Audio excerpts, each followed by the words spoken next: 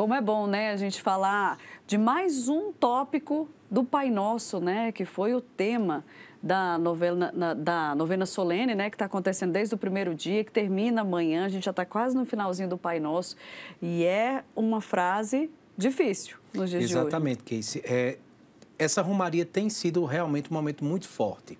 Fazer a reflexão da oração do Pai Nosso, uma oração que nós lemos muitas vezes de forma mecânica, é provocador. É provocador porque nós, todos nós somos tentados. A tentação é algo, algo muito perto de nós. E como Dom Geraldo falava, o próprio Jesus foi tentado.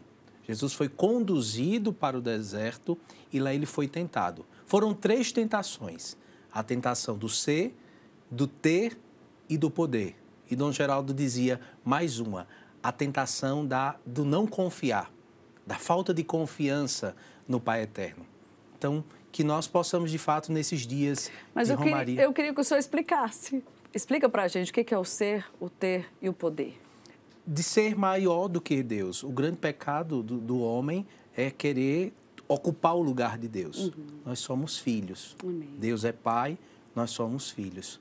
A tentação do ter, do ter coisa, do se apegar às coisas materiais. E aí Jesus diz: nem só de pão vive o homem, mas de toda a palavra de Deus. E a tentação do poder. É, o, o, o maligno apresentou para Jesus todos os reinos da terra. E ele diz: tudo isso será teu. E aí Jesus diz: não, eu não quero nada disso. O meu, o meu reino não é deste mundo. O meu reino é o reino dos céus. Amém. Então, nós seres humanos também podemos ser tentados por essas três tentações e, e facilmente nos deixar seduzir. É por isso que o tema da Romaria desse ano, de fato, é, um, é uma grande súplica ao Pai Eterno. Pai, a voz nossa oração para que nós possamos, de fato, permanecer confiantes na força que o Pai Eterno nos dá para vencer as tentações, como nós vamos suplicar nessa noite. Pai, né? ajudai-nos a vencer as tentações, livrai-nos das tentações. Amém.